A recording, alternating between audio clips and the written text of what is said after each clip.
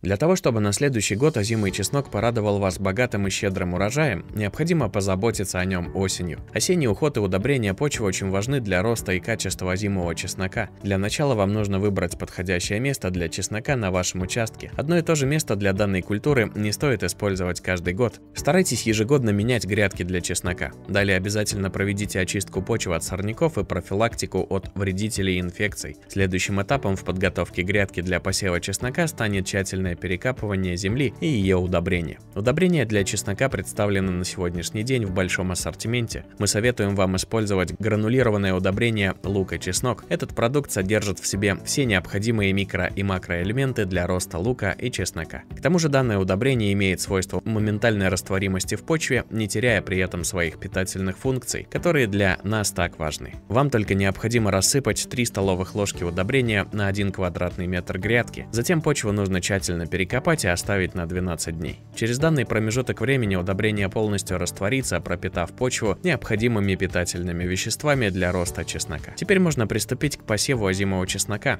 Удобрение почвы является очень важным этапом для роста данной культуры. Не забывайте соблюдать все правила подготовки почвы и правильные пропорции удобрения для того, чтобы чеснок оправдал все ваши ожидания.